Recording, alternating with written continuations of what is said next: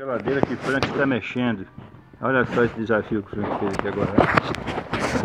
Eu tive que pegar uma grade de geladeira, uma maior, cortar e soldar pontinha por pontinha para conseguir fazer essa grade de um tamanho tão pequeno, de 25 centímetros por 37 25 profundidade, 37 de largura.